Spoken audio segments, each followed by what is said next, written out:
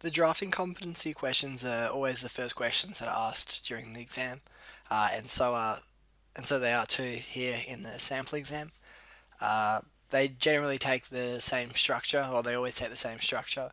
That is, they give you a, an original view A and ask you what SOLIDWORKS view type is used to create the secondary view uh, B. Uh, yeah, they're always multiple choice questions, and they can be a bit tricky because they do require you to be pretty confident, uh, knowing, uh, have a pretty good familiarity with the program. But if you're aware of a couple little tricks, you can work it out in the exam to make sure that you are getting the right answer. Uh, I'll show you what I mean. So one way you could do it is by opening a creating a new drawing. File new, create a new drawing. I'm going to do A3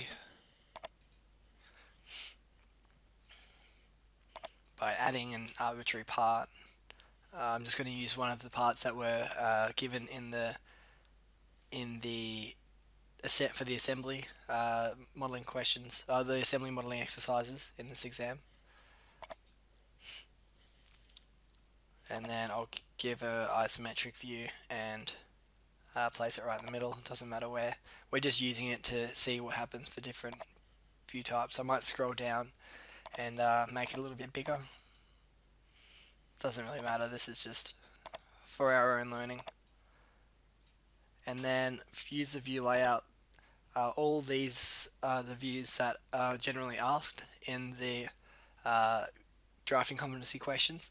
So if you just have a play before the exam and work out what each of these views do, then it should be good, um, a good start. So we'll have a look at this. Uh, to create a drawing view B, so to create view B, is it A, B, C, or D? Just looking at it, I'm pretty sure it's B, so I'll just test that uh, using our arbitrary part in SOLIDWORKS. So I'll return to SOLIDWORKS uh, and go to uh, crop view. Uh, for a crop, you need to sketch a spline uh, around one of your areas, so go to the sketch drop down menu and go to spline and then I will just click around an area of our part and click OK. If it doesn't automatically come up then that's still fine.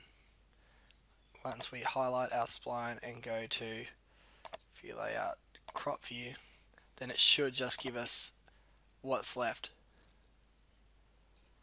So looking at that, you can be pretty confident that that is exactly what they're after for question 1A. Uh, for question 1, that seems to be how they created B. Uh, if you wanted even more information, and this is what I really recommend you do instead of drawing on an arbitrary part, is use the SOLIDWORKS help uh, help directory.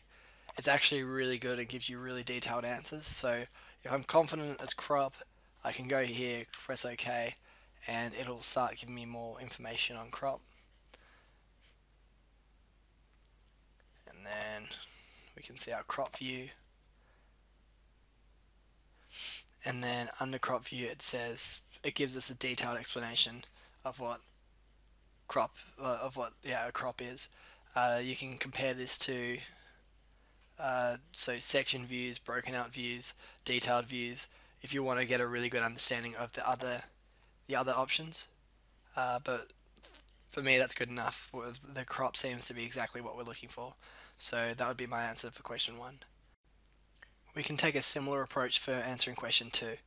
Uh, just having a look at the images and the options that we have for the answer, I'm pretty confident that uh, section B is a broken out section. Uh, if we're not confident that we're sure of what a broken out section is compared to a section or a detail or a detail or aligned section, uh, it might just be worth checking with the SOLIDWORKS help directory.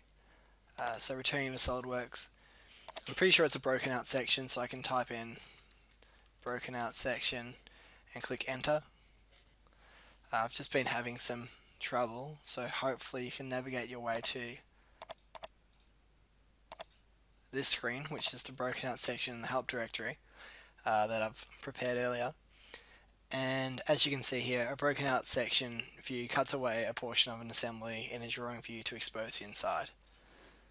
Returning to our question, that's exactly what they're doing. They're exposing the inside of, an, of a larger assembly. Oh, this could just be a part. so, for the drafting competency questions, uh, it's good to have a good to have a, um, a solid understanding of the different tools before entering the exam.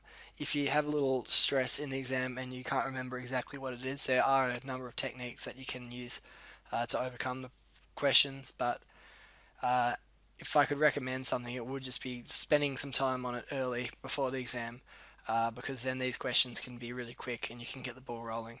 You really don't want to spend too much time on these questions. They aren't weighted too heavily. I think they're only like five marks each, uh, five points each uh, compared to the assembly questions, which are weighted something like 30, 30 marks each. Uh, so if you look at it at the value compared to how much time you put into it, uh, they're not overly that high. But it's just a good way to start thinking and start the uh, start the exam confidently.